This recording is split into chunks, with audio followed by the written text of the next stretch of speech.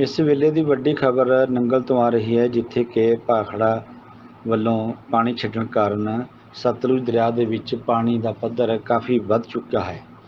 ਤਸਵੀਰਾਂ ਸਾਨੂੰ ਪ੍ਰਾਪਤ ਹੋਈਆਂ ਹਨ। ਤਸਵੀਰਾਂ ਦੇ ਵਿੱਚ ਅਸੀਂ ਦੇਖ ਰਹੇ ਹਾਂ ਕਿ ਬਹੁਤ ਸਾਰਾ ਪਾਣੀ ਜਿਹੜਾ ਸਤਲੁਜ ਦਰਿਆ ਦੇ ਵਿੱਚ ਆ ਚੁੱਕਾ ਹੈ, ਜੋ ਕਿ ਨੰਗਲ ਦੇ ਪਾਸ ਜਦੋਂ ਕ੍ਰੋਸ ਕਰਦਾ ਉਸ ਉਸ ਦੇ ਅੱਗੇ ਪਾਣੀ ਨੁਕਸਾਨ ਕਰਨਾ ਸ਼ੁਰੂ ਕਰ ਦਿੰਦਾ ਹੈ।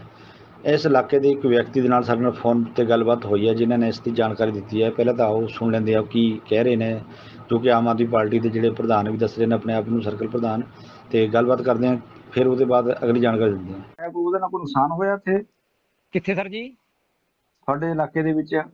ਕਿੱਥੋਂ ਬੋਲ ਰਹੇ ਗੁਰੂ ਮੇਰੇ ਪ੍ਰਭੂ ਜੀ? ਮੈਂ ਚੈਨਲ ਤੋਂ ਗੱਲ ਕਰ ਰਿਹਾ ਆਰਟੀਵੀ 1 ਰੋਪੜ ਤੋਂ। ਜੀ ਸਰ ਜੀ ਸਰ ਹਾਂਜੀ ਸਰ ਬੇਲਾ ਤੇ ਆਨੀ ਸਰ ਬਹੁਤ ਬੁਰਾ ਹਾਲ ਹੋ ਚੁੱਕਿਆ ਵਾ। ਜੀ ਇਹ ਪਾਣੀ ਕਦੋਂ ਕਾ ਆਇਆ ਹੈ ਇਹ ਪਾਣੀ ਨੂੰ ਸਰ 15 ਮਿੰਟ ਪਹਿਲੇ ਜਦੋਂ ਮੈਂ ਦੇਖਣ ਵਾਸਤੇ ਗਿਆ ਨਾ ਜੀ ਆਪਣਾ ਕਿਉਂਕਿ ਫੱਟੇ ਵਾਲਾ ਪੁਲ ਪੈਂਦੇ ਉੱਥੇ ਇੱਕ ਜੀ। ਜੀ ਜੀ। ਉਦੋਂ ਪਾਣੀ ਕੁਛ ਘੱਟ ਸੀ ਜਦੋਂ ਅਸੀਂ 15 ਮਿੰਟਾਂ ਬਾਅਦ ਹੁਣ ਦੁਬਾਰੇ ਫੇਰ ਮੈਂ ਜਦੋਂ ਗਿਆ ਕਿ ਮੈਨੂੰ ਲੋਕਾਂ ਦੇ ਇੱਧਰੋਂ ਫੋਨ ਆਣੇ ਸ਼ੁਰੂ ਹੋਣਾ ਪਿਆ ਸਾਡੇ ਦਵਾਈ ਦਾ ਪ੍ਰਬੰਧ ਕਰਕੇ ਰੱਖੋ। ਜੀ ਜੀ ਜੀ ਅੱਛਾ। ਤੇ ਸਾਡਾ ਮਤਲਬ ਰੋਟੀ ਪਾਣੀ ਦਾ ਪ੍ਰਬੰਧ ਕਰਕੇ ਰੱਖੋ ਪਤਾ ਨਹੀਂ ਕਿਦੋਂ ਦੀ ਵਿਪਤਾ ਪੈ ਸਕਦੀ ਹੈ।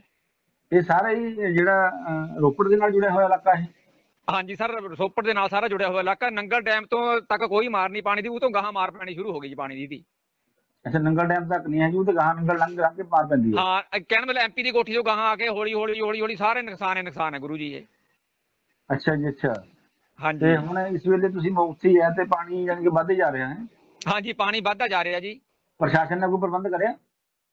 ਹਾਲੇ ਤੱਕ ਪ੍ਰਸ਼ਾਸਨ ਸਰ ਜੀ ਕੋਈ ਪ੍ਰਬੰਧ ਨਹੀਂ ਹੋ ਰਿਹਾ ਹੈ। ਅਸੀਂ ਚਲੋ ਗੱਲਬਾਤ ਆਪਾਂ ਕਰ ਰਹੇ ਹਾਂ ਵੀ ਕਿਤੇ ਨਾ ਕਿਤੇ ਢੰਗ ਨਾਲ ਇਹਨਾਂ ਦੀ ਮਤਲਬ ਕੋਈ ਮਦਦ ਕਰੀਏ ਅਸੀਂ ਕੋਈ ਟੀਮਾਂ ਮੰਗਾਈਏ ਇਹਨਾਂ ਨੂੰ ਬੱਚਿਆਂ ਨੂੰ ਸੁਰੱਖਿਅਤ ਜਗ੍ਹਾ ਤੇ ਪਹੁੰਚਾ ਸਕੀਏ।